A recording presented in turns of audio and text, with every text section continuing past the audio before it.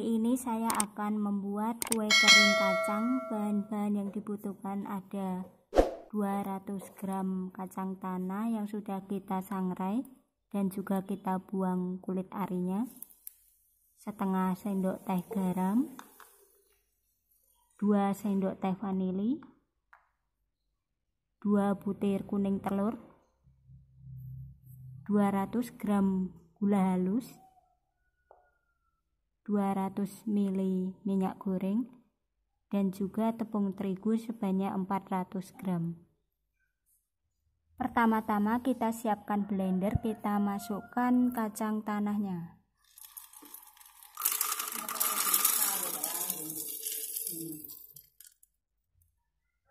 Kemudian garam dan juga minyak goreng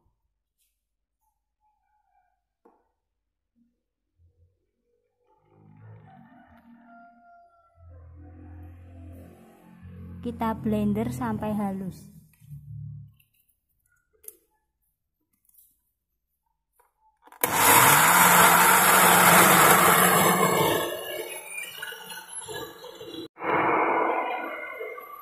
Kalau sudah halus bisa kita matikan kita sisihkan terlebih dahulu. Di wadah terpisah kita campur tepung terigu kemudian gula halus.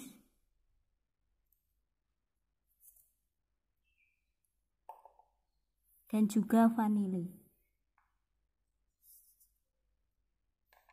Kita aduk sampai rata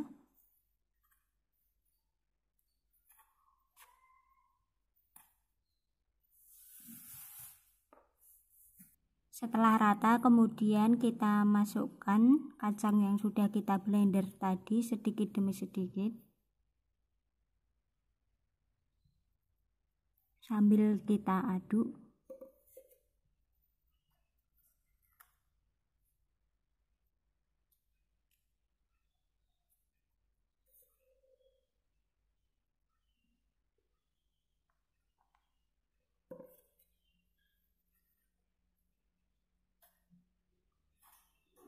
Sampai adonan kalis dan bisa dibentuk. Kalau sudah kalis seperti ini siap untuk kita cetak. Kita ambil sebagian adonan.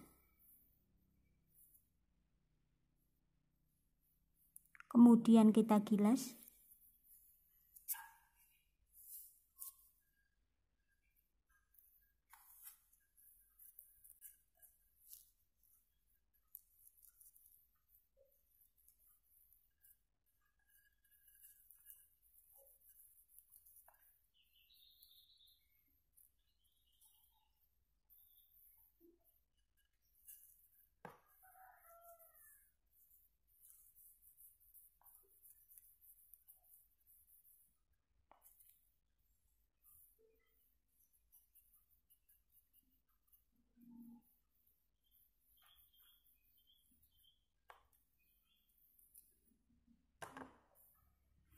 Setelah itu kita cetak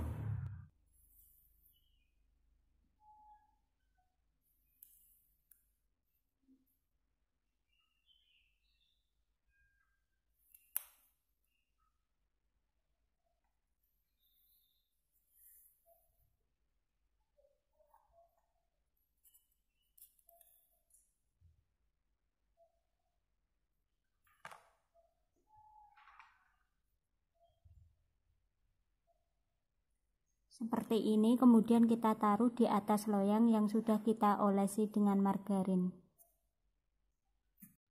Setelah semua adonan selesai dicetak, atasnya kita olesi dengan kuning telur tadi.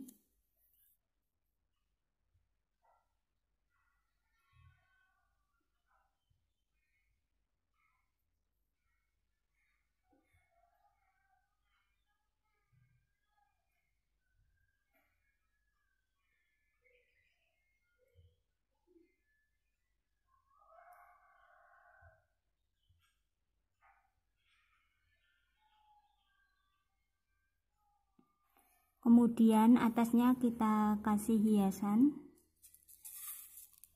Bisa berupa kacang tanah atau yang lainnya.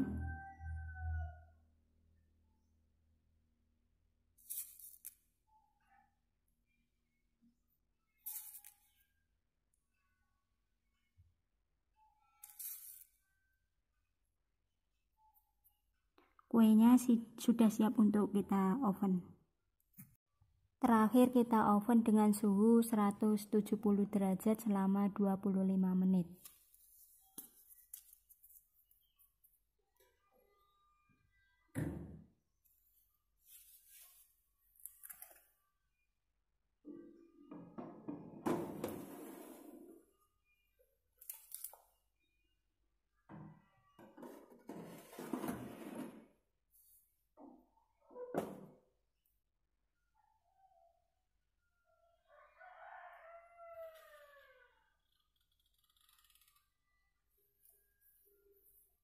Cara kue kering kacangnya sudah siap untuk dinikmati.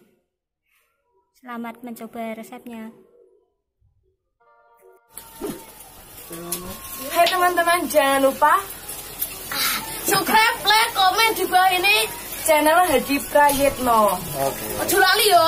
Ojo lali yo.